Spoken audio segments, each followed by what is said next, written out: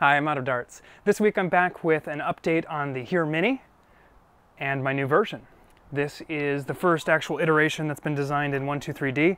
A uh, little backstory, I actually lost almost all of my Tinkercad files.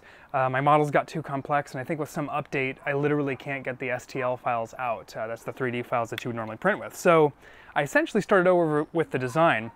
Uh, this is the first version I chose to finish because you guys overwhelmingly voted for a version that's mag fed.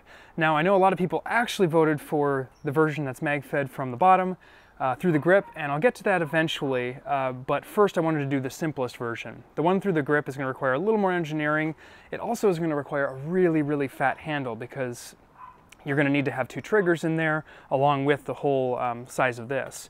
So this is full auto like before, but unlike before, this is controlled. So real quick, we'll just do a little firing test.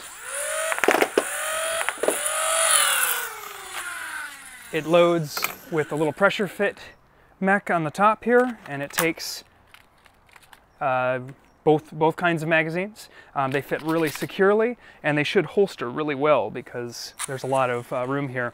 I obviously do need to do some re redesign here on the buttons because I didn't leave enough room to get the battery in there, or maybe I'll switch the battery pack, but that's coming up uh, eventually.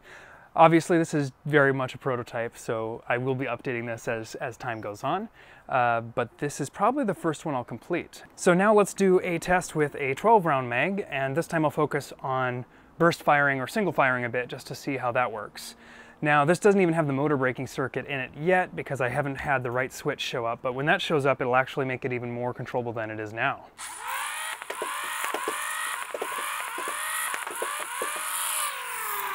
So you'll see, unlike uh, some of the other blasters I've done, it's super controllable, really easy to deal with. Um, what I'm using is a little roller here that basically, just like the belt on Hasbro's designs, uh, both stops the balls from entering the chamber and it feeds them into the flywheels themselves.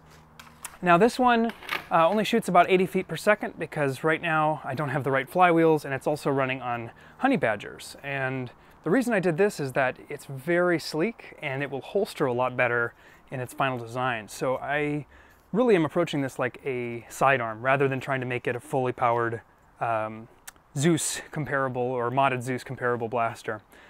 But anyway, that's an update for now. Lots more to come and lots more versions. Hope you enjoyed this. Until next time, I'm out of darts.